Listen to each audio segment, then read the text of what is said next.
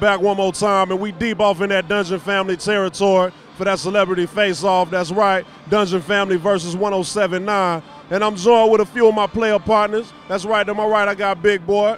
To my left, Sleepy Brown, and the Big Boi's right, T-Mo Goodie representing that Goodie Mob. Real quick, Big Boi, man, I know you riding with the DF. I done already hollered at Slim, but let the folks at home know why it exactly is that y'all gonna take this thing home, man. Uh, really, we're gonna take it home because we got about four times more players than they do. They got one team, we got about four teams out here. The DF always running deep. So if, a, if somebody get hurt, we're gonna put somebody else out there in their place. So we got disposable players out here on the field today. For sure. Who y'all got on that specialty team? On the special team, we got my man.